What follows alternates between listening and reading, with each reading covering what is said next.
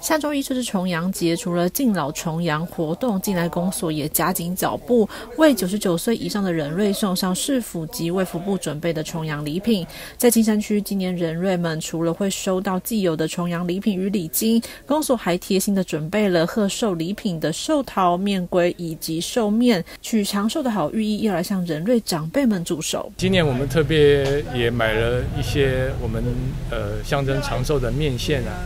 呃，这个面菇啦，好，还有这个呃寿桃，啊，以及我们特别买了一个毛毯赠送给长辈，那希望他们能够呃健健康康。青山区六十五岁以上的人口已经将近百分之二十。今年刚满九十九岁的人瑞有六位，百岁以上则是有五位。区长也代表市长一一的亲自走访人瑞家中关怀，并送上重阳礼品，祝福人瑞长辈们在地乐活、健康长寿。我们这个人瑞的长辈总共有十一位，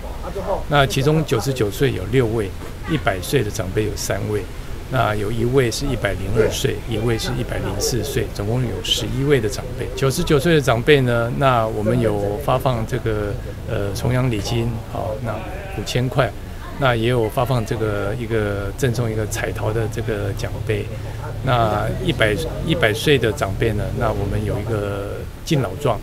那也有呃两万块的这个重阳礼金。而其中最高龄一百零四岁的长辈，目前与家人同住在永和区，区长也是相当的贴心，将敬老状以及礼品亲自送到长辈的手中，希望每一位仁瑞长辈都可以同样的感受到来自市府以及金山公所的贺寿礼与祝福，在专属于长辈的节日里，感受到备受重视与满心的温暖。记者平涵金山采访报道。